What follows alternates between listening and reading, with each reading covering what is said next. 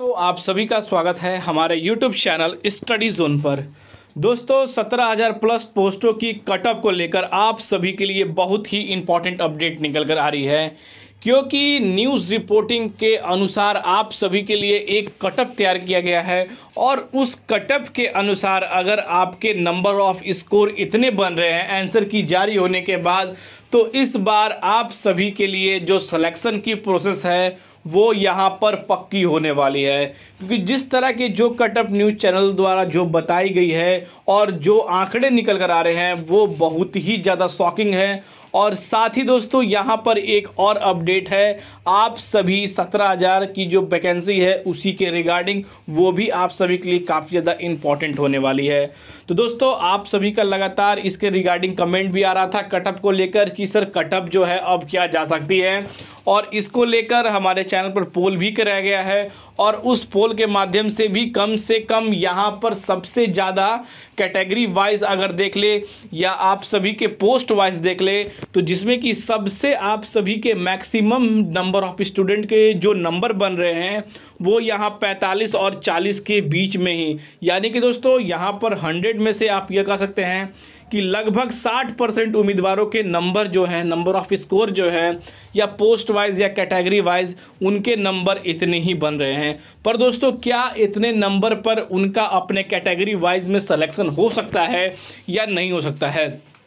क्योंकि अगर जो कटअप की रेशियो इतनी नहीं होगी तो उन उम्मीदवारों का क्या होगा? क्योंकि आप सोच सकते हैं कि पोस्ट वाइज कैटेगरी वाइज कितने कितने पोस्ट हैं और उस पोस्टों पर अगर उस कैटेगरी वाइज आप सभी के स्कोर नहीं बनेंगे तो आप सभी इस पोस्ट से पहले ही बाहर होने वाले हैं। तो दोस्तों, पूरी इन्फॉर्मेशन मैं आप सभी को बताने वाला हूँ और दोस्तों, जो आंकड़े न्यूज़ के द्वारा बताए गए हैं, वो क्या हैं, वो भी मैं आप सभी को पूरी इन्फॉर्मेशन स्टेप बाय स्टेप देने वाला हूँ।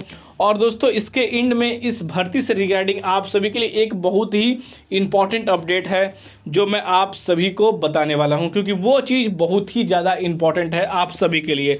तो चलिए दोस्तों, सबसे पहले आप सभी को कटअप जो वाइज जो है, वो मैं आप सभी को पूरी प्रक्रिया बताने वाला हूँ। क्योंकि कटअप के रिगार्डिंग यहाँ पर लगभग यहाँ पर 80 परसेंट उम्मीदवारों के कमेंट आ चुके हैं कि सर कटअप के लिए एक वीडियो होना चाहिए, क्योंकि जो आंसर की जारी की गए हैं और जिसमें स्कोरिंग कराई गई है और कई सारे चैनल द्वारा या आप ट्विटर पर या आप टेलीग्राम पर भी जो इसके स्कोर जो है साझे किए गए हैं उम्मीदवारों द्वारा, उनके स्कोर क्या बन रहे हैं वो मैं आप सभी को आज के इस वीडियो में बताने वाला हूँ।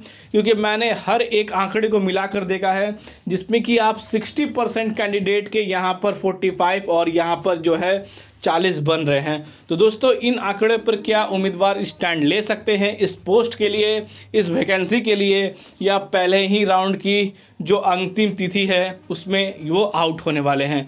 तो दोस्तों, पूरी इन्फॉर्मेशन मैं आप सभी को बताने वाला हूँ, क्योंकि इस भर्ती की प्रोसेस जल्द ही पूरी होने वाली है। तो पूरी तरह से आप सभी के लिए मैं स्टेप बाय स्टेप हर एक आंकड़े को बताने वाला हूँ।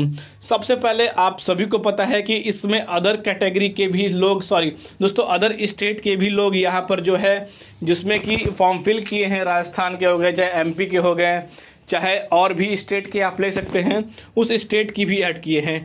तो वो कैटेगरी वाइज आप सभी के लिए कम से कम टेन परसेंट कैंडिडेट जो हैं, जो डायरेक्ट ही इन पोस्टों से आउट होंगे और जो बाकी जो बचे हैं, वो यहाँ पर जनरल के अंदर फाइट होंगे। तो जो जनरल की कटअप है, वो ऑलमोस्ट इंक्रीज हो जाएगी, क्योंकि सारे जो है आप कैटेगरी वाइज वो अदर स्टेट के डायरेक्ट ही जनरल में काउंट किए जाएँगे।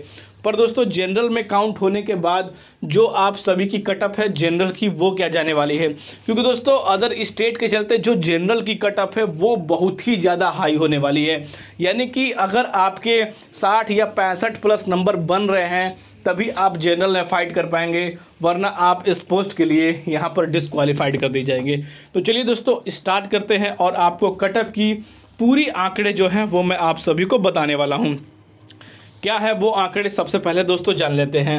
तो दोस्तों चैनल में पहली बार विज़िट कर रहे हैं तो ज़रूर सब्सक्राइब कर लीजिएगा लाइक कर दीजिएगा, क्योंकि एक लाइक से हमें वीडियो बनाने में काफ़ी ज़्यादा मोटिवेशन मिलती है। इसलिए दोस्तों, एक लाइक ज़रूर करिएगा हमारे चैनल स्टडी जोन को। और दोस्तों, ज़्यादा से ज़्यादा इस वीडियो को शेयर करिएगा। तो सबसे पहले दोस्तों, यहाँ पर जान लेते हैं कटअप कि कटअप क्या जाने वाला है। सबसे पहले दोस्तों जनरल की। यानी कि दोस्तों, अगर यूपी से यहाँ पर जो है 80 परसेंट कैंडिडेट ने अप्लाई किया है तो 20 परसेंट कैंडिडेट जो है अदर स्टेट से भी अप्लाई किए हैं। जिसके कारण, जो यहाँ पर जो 80 परसेंट और 20 परसेंट कैंडिडेट है। वो इसमें अदर कैटेगरी वाइज भी हैं। O B C general E W S S T S T के हो गए। जिन्हें यहाँ पर डायरेक्ट ही दोस्तों कैटेगरी में जनरल में फाइट करना पड़ेगा, क्योंकि उस नोटिफिकेशन के रिगार्डिंग अदर स्टेट को जनरल के अंदर ही काउंट किया जाएगा। तो पहले के जो आंकड़े थे, वो कुछ और बन रहे थे और कई जगहों पर और कई जो जगहों पर पोलो कराया गया है, उन पर कई सारे आंकड़े बन रहे थे। पर दोस्तों, यहाँ पर जो आंकड़े को साझा कर कर, जो अकॉर्डिंग कर कर, जो पूरे तरह से जाँच कर कर और जो प्रीवियस ईयर की वैकेंसी को भी लेकर जो आंकड़े निकल कर आ रहे हैं, क्योंकि अदर स्टेट और स्टेट के उसमें जो आंकड़े निकल कर आ रहे हैं दोस्तों, वो यहाँ पर जो है 62 से लेके 64 के बीच में निकल कर आ रहे हैं। अगर जनरल के कैंडिडेट हैं अगर 62 या 64 के बीच में अगर आंकड़े आपके बन रहे हैं तो आप इस पोस्ट के लिए सिलेक्टेड हैं, वरना आप इस पोस्ट से डायरेक्ट ही डिस्कवालीफाइड होने वाले हैं। साथ ही दोस्तों, अब दोस्तों बात कर लेते हैं कि जो ओबीसी की कटअप क्या जाने वाली है। क्योंकि दोस्तों, इन कैटेगरी को अदर स्टेट से कोई मतलब रहता नहीं है, क्योंकि अदर स्टेट वाले ओबीसी सारे जनरल में काउंट होते हैं। तो यहाँ पर दोस्तों, अगर आपके यहाँ पर जो है तिरपन या पचपन के बीच नंबर ऑफ़ स्कोर बन रहे हैं तो इस बार आप हंड्रेड परसेंट ओ के अंदर सेलेक्टेड होने वाले हैं। ई e के कैंडिडेट के जो आंकड़े हैं इस बार थोड़े से कम देखने को मिले हैं ओबीसी के अनुसार। क्योंकि पहले के पोल में, अभी के पोल में जो ट्विटर पर पोल हुआ है, उस पर भी और साथ ही जो उम्मीदवारों द्वारा टेलीग्राम पे भी पोल किया गया है, उसके अनुसार भी ई e की जो संख्या है, जो मार्क्स हैं, वो थोड़ा कम है ओबीसी वालों से, जिसलिए इसके जो आंकड़े हैं, वो यहाँ पचास से लेकर तिरपन के बीच में बन रहे हैं। दोस्तों माइनर जो आंकड़े में थोड़ी सी कमी हुई है। अगर इसके बीच ई e वाले कैंडिडेट के नंबर बन रहे हैं तो वो इस बार हंड्रेड परसेंटेज सेलेक्टेड हैं।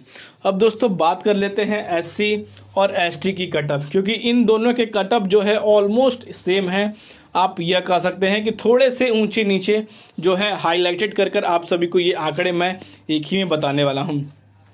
क्योंकि दोस्तों, जो आंकड़े हैं, इसमें लगभग आप मान सकते हैं चालीस या आप सभी के पैंतालीस के बीच, इन दोनों कैटेगरी में एक या दो नंबर आप अपने से इंक्रीज़ या डिक्रीज़ कर सकते हैं। अगर इतने चालीस और पैंतालीस के बीच में अगर नंबर ऑफ़ स्कोर आपके बन रहे हैं एस टी के अंदर तो इस बार आप सभी की हंड्रेड परसेंट सलेक्शन होने की पूरी चांसेस बन रही हैं।